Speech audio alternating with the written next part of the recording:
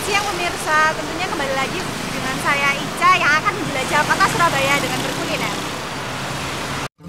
Kali ini saya akan mengajak Anda ke salah satu kedai yang dimiliki oleh seorang bule. Makanannya pun bervariasi, mulai dari alukema, kebab, dan paranata. Ya, Mr. Syahril. Dia bule asal Pakistan yang memulai karirnya di Indonesia sejak lima tahun yang lalu. This was not basically my business. I was a businessman. I come here for doing business, not for making paratha. But I know how to cook. Because I live in China for six years, we will cook for ourselves. Because there is mostly not halal, so we will cook by ourselves.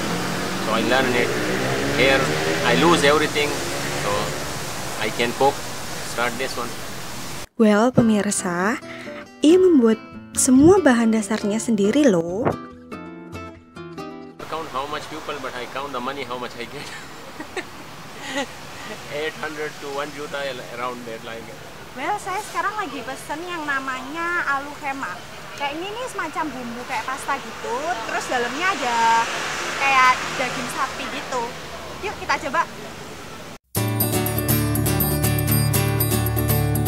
Di Parata House ini enak ya, apalagi saya suka sayurannya. Ini dapat banyak, jadi enak, kerasa juga dagingnya. kebab di sini sih rasanya eh, enak ya terus eh, rasa dagingnya juga kerasa tebal mayonesnya juga jadi itu yang bedain sama eh, kebab-kebab yang di tempat lain sih kalau menurut aku sih kayak gitu Nah, gimana pemirsa?